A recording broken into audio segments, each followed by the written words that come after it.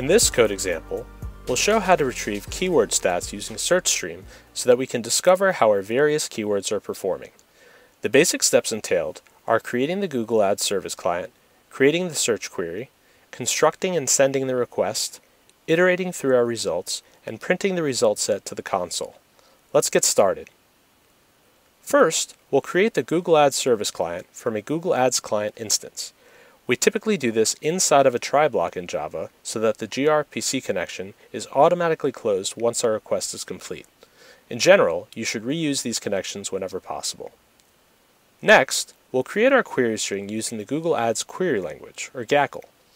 Because we're looking at keyword stats, we'll use one of the built-in views, Keyword View. Let's take a look at the keyword view in the reporting reference documentation to see what fields we have available to us in our query. At the top, you can see the resources that this view has access to, similar to an implicit join. This means that we can use any of the fields on the resources listed here in our search query. For example, if we check out the ad group criterion documentation, you can see the fields adgroupcriterion.keyword.matchtype and adgroupcriterion.keyword.text are available on the ad group criterion resource. This means we can include those in our GAQL query when keyword view is the main resource. Let's add a few of the fields from those attributed resources to our select clause. We'd like to know what campaign and ad group a given keyword is associated with, so we'll add their IDs and names to the select clause. In addition, it would be useful to know more information about the keywords themselves, and that information is available on the ad group criterion. Let's add the ad group criterion's criterion ID, keyword text, and keyword match type to our select clause.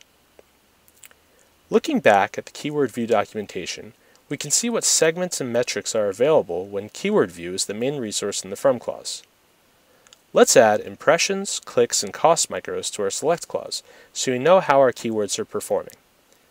We'll add keyword view to our from clause because that is the resource we'll be retrieving data from. Next, let's add some filtering conditions. Let's only look at this data for the last seven days, which we can view by using the shorthand segments.date during last seven days. Let's further refine our search by chaining filtering conditions together with the AND keyword. Let's limit our results to search campaigns in enabled ad groups.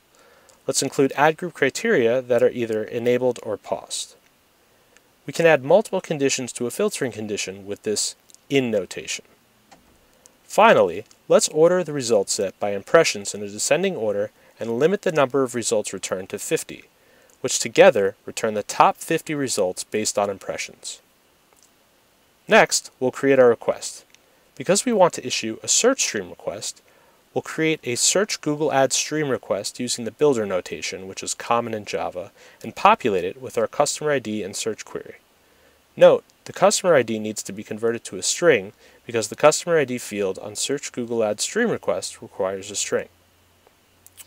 We can now issue our search request by calling searchstreamcallable.call on the Google Ads service client we created earlier. The response, which we'll name stream, is a server stream object of type search Google Ads stream response. Finally, let's iterate through and print our result set. We can get access to the result lists by iterating through the responses in the stream and then iterating through the Google Ads rows in the results list of the response. Each Google Ads row represents a single row returned from our search request. One of the advantages of the Google Ads API is that you get access to first-class objects in your response. This makes parsing the response, or even making subsequent mutate requests, very easy. As you can see here, we can pull campaign, ad group, ad group criterion, and metrics objects directly off of each Google Ads row object.